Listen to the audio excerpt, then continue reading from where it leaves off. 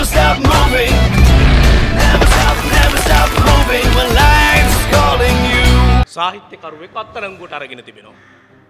ඔහු අ, සිද්ධාර්ථ අ, ජීවිතය සම්බන්ධයෙන් සහ ඔහු කරපු නිර්මාණය ඔහු ලියන අ, ඔහුගේ නිර්මාණයක ඒ සිද්ධාර්ථ ජීවිතය සම්බන්ධයෙන් යම් යම් ගැටලු මතු කරලා තියෙනවා.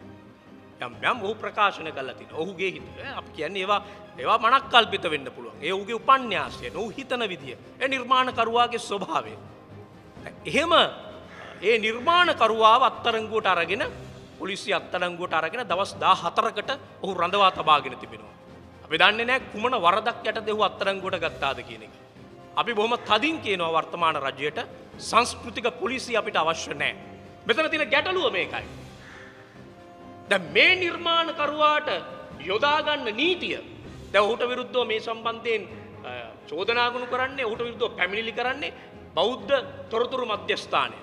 රිදුරාගාරය ස්වාමීන් වහන්සේ එවගේම අ, මැදකොට සුමනතිස්ස වැනි ස්වාමීන් වහන්සේලා. හැබැයි මේ සියලු දෙනාටම කොන්දක් නෑ. මේ සිරු දෙනාටම කොන්දක් නෑ දිලිච්ජය වීරෝ ප්‍රශ්න කරන්න. මෙතන තින ප්‍රශ්නය එකයි. දෙන්නෙකුට දෙවිදියක්.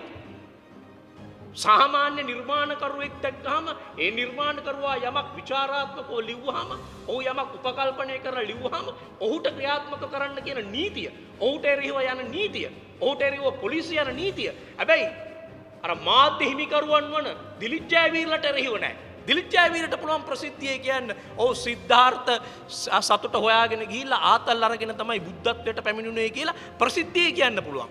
ඇයි දිලිච්ඡාවීරට බයද? ඇයි මේ දෙරණට බයද ඔයගොල්ලෝ අපි අහන්නේ ස්වාමීන් වහන්සේලාගේ දිලිච්ඡාවීරට ගිහින් එරෙහිව නඩු දාන්නකෝ ඇයි ඔහුට එරෙහිව ගිහිල්ලා පැමිණිලි කරන්නේ නැත්තේ එව්ව නැහැ අහිංසකයෙක් ලිව්වහම මේ කවුරු හරි සාමාන්‍ය මිනිහෙක් ලිව්වහම සාමාන්‍ය කෙනෙක් මේක ලිව්වහම නිර්මාණකරුවෙක් ලිව්වහම ඔහු ලියන්නේ මේක බුදුදහමට විරුද්ධව ලියපු දෙයක්. දැන් මේ චෝදනා ගොනු කරලා තියෙන්නේ බුදුදහමට සහ ශාස්ත්‍රූවරයාට එරෙහිව අපහාස කිරීම මුල් කරගෙන. බුදුදහමට අප- අපහාසයක් තියෙනවද ඒකේ? ශාස්ත්‍රූවරයාට අපහාසයක් තියෙනවද? සිද්ධාර්ථ ජීවිතය ප්‍රශ්න කරනවා කියන්නේ ඔහුගේ ආ, යම් ඒ සිද්ධාර්ථ කියන්නේ බුදු වුණාට පස්සේද? සිද්ධාර්ථය ඔහුගේ ගිහි ජීවිතය. ගිහි ජීවිතය පිළිබඳව විවිධාකාරයේ විචාරාත්මක ප්‍රකාශන ලියවිලි නිර්මාණ අපි දකිනවා. එතකොට භවතරණය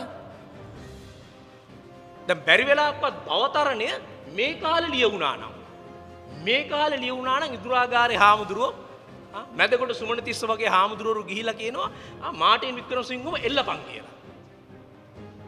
මොකද සිද්ධාර්ථ ජීවිතය ගැන භවතරණේ විවිධ ඉතා බරපතල ආකාරයකින් විචාරාත්මකව මාටින් වික්‍රමසිංහයන් ලියනවා.